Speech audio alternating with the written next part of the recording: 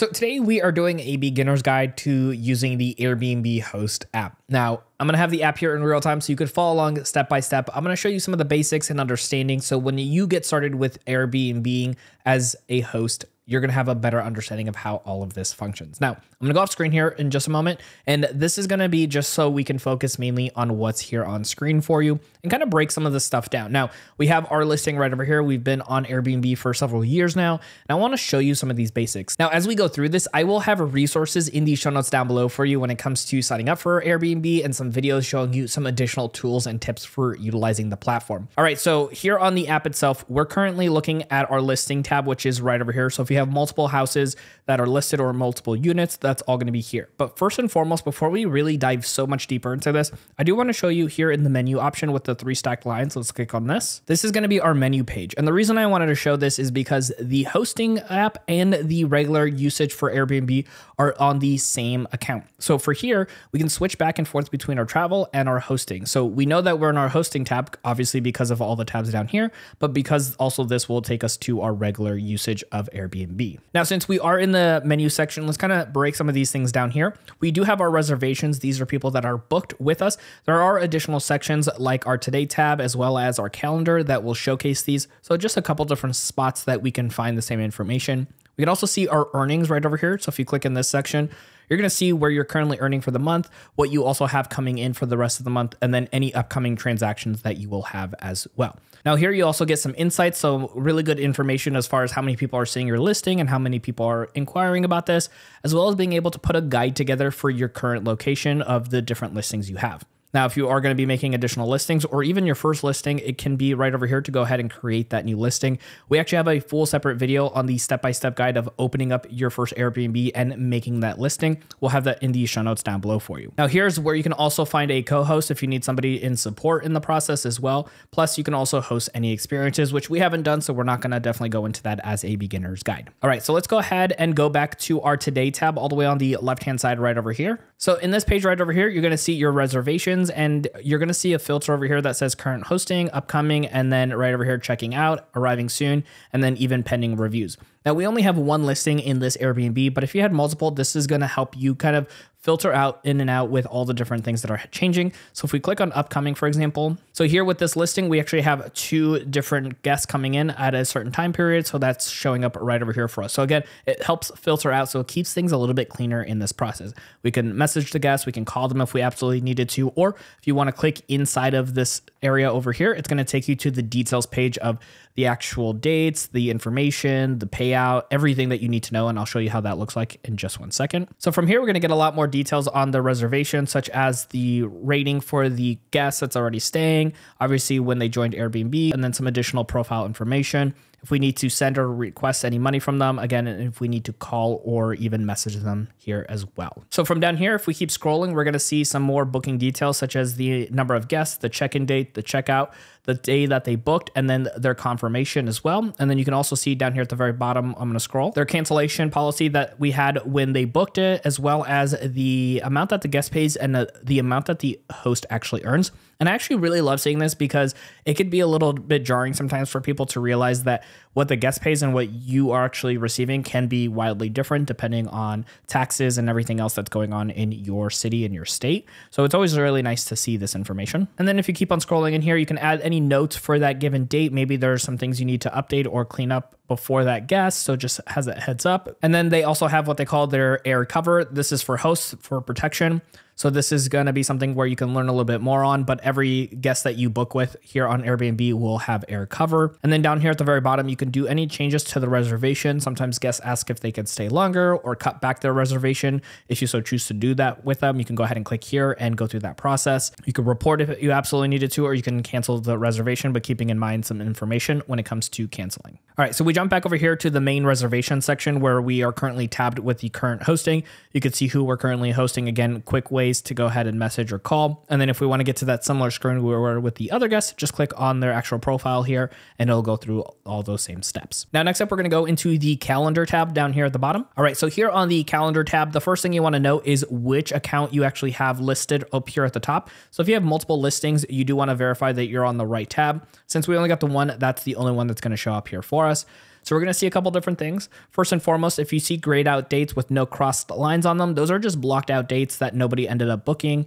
If you see a date with a crossed out line in it, that's something that either we manually blocked off or they automatically blocked off for us for particular reasons, like making sure that we can clean up on time. Now, the other reason it could be blocked off is if you have a minimum stay and the two guests in between don't qualify for that next guests to book in. So, for example, we have a five day minimum. So, right over here, nobody can book between these dates. So, it just doesn't work out. So, Airbnb automatically blocks those dates. Same thing with these ones right over here. So, you can see the current guest that is staying with the main Airbnb theme color. It's kind of like that reddish pink right over here. And then you could see the next guests that are coming in too. So, you can see right over here where this pink over here on the 12th is kind of curved in there. That is their checkout date.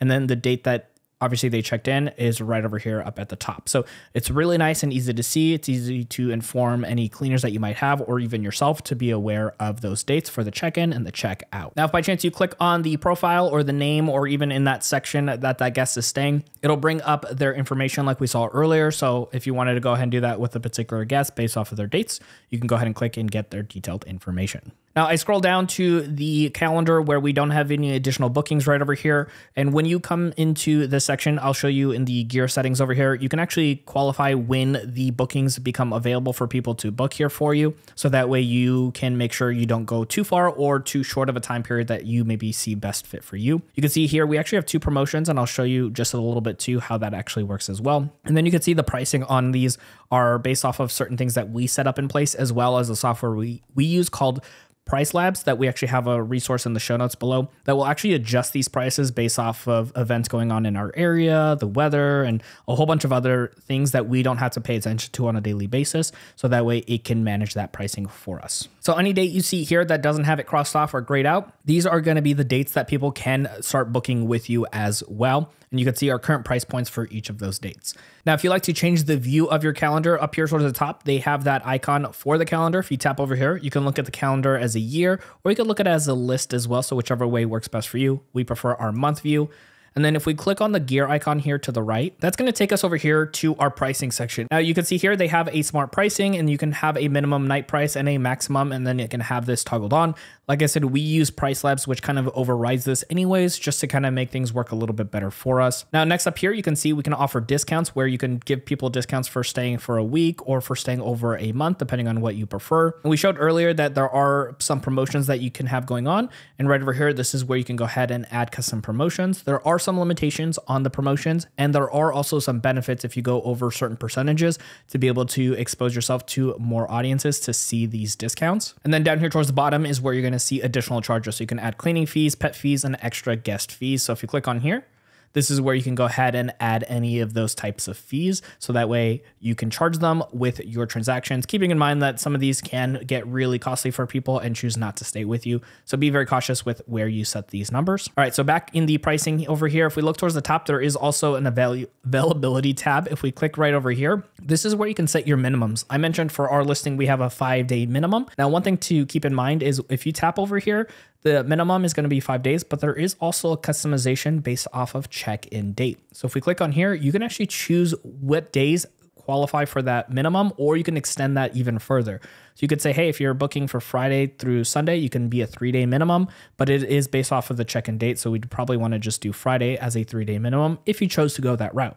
Or you can say, hey, if you're going to book on a Monday, it needs to be a minimum of six or seven days, just based off of your own preferences or what works best for you and your listing. Now you can have a maximum of nights that you can have, but you can also make sure that if they do need to go over that 100 days or whatever time period, there is a little toggle over here once we clicked in that you can go ahead and let them request it a little bit further. But the 100 day maximum is just based off of automatic stuff. So this is just something that if someone's going to stay for 90 days, it'll automatically let them go through. But if they need to stay for 101 days, they can still request, but it can't be an instant booking with you. And then you can also customize any trip lengths as well. Now over here, when we continue down with the availability, this is going to be some really important stuff here for you. So with the advance notice, this is going to be the minimum that somebody needs to give you an advance notice with to be able to book automatically, keeping in mind that they can still book with you in less than this time period, but they do need to connect with you first and you can message back and forth to see if it works with you, such as like if the cleaning has been done or if maybe there's something going on where you can't do that instant booking.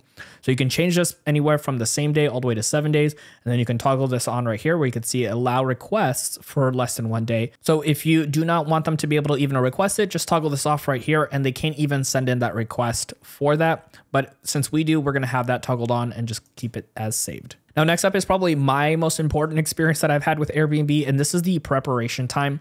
So, right over here, you can actually choose how many days Airbnb will automatically block before and after a check in. And the reason this is important for us is because we had it at none for such a long time, and we ran into a couple times where people were uh, checking out and checking in on the same date.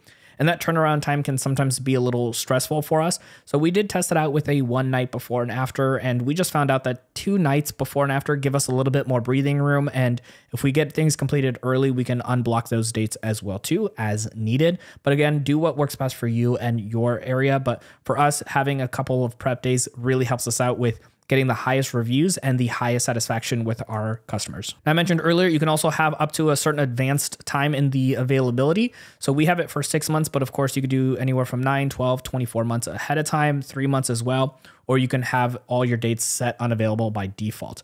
Now, we can have people request beyond the six months as well, too, but that can't be again with instant booking. So if this is toggled off, there's no availability for them to even reach out to us and request it where this at least gives them the opportunity. So somebody can still message us if they are booking for something that's six months and one day away, but at least with this toggled on, that can happen. Now, there are some additional restrictions when it comes to checking in and checking out, and this is just for the dates that people can and can't check out. Now, obviously, Airbnb will just block it so people can't choose those dates as checkouts. So if it doesn't work for them, they won't even be able to book with you. So just something to keep in mind. And this is usually for if you have certain requirements or things to go through when it comes to the dates that people check in or when people check out. And down here at the bottom, you can also connect to additional websites. So if you have either other hosting sites or if you're using something like a PriceLabs, you can connect your calendar to it, or you can also even connect multiple Airbnb listings on one calendar. All right, so we went ahead and jumped over now to our messages tab over here. And similar to the Today tab, there is going to be a filter up here if you needed to filter through some of the different questions. And the way the message tab works is it's going to be with the latest message that you most recently received. And then you can actually see the listing on the background with the image. And then you can also see the guest photo as well, plus their name over here in the messages.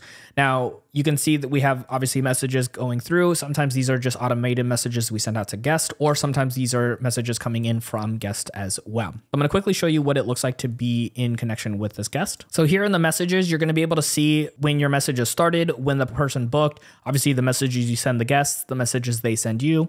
You can go ahead and do some auto replies. You also have the opportunity right over here to schedule some messages, send images, or share any recommendations. And what's nice is on the top right hand side, you could see any details. So if they maybe ask certain questions based off of the booking, you can go ahead and jump right to that really quickly based off of what we saw earlier in today's video. Now, before we continue on with this beginner's guide, I did want to mention that if you are a small business owner or if this is your first thing getting into small business and want to make money from this, we want to make sure that we're putting our money in a proper business bank account. So we want to recommend Relay Bank, which is a great small business bank account because there are no fees for having a checking and a savings account, getting your free debit card, and being able to use all these tools at no additional cost for having a small business bank account. Now, our viewers get an exclusive $50 bonus for utilizing the link in the show notes down below to go ahead and open up their free small business bank account, especially if you're going to be using it for something like Airbnb to have your money coming in and your expenses going out. All right, so now we are here on our listing tab back to where we started earlier, and I want to show you some things when it comes to your listing. First and foremost, if you have additional listings you want to be making, you can click this little plus sign right over here to add them. Maybe you have separate rooms you want to list out individually, or you have additional houses you want to add.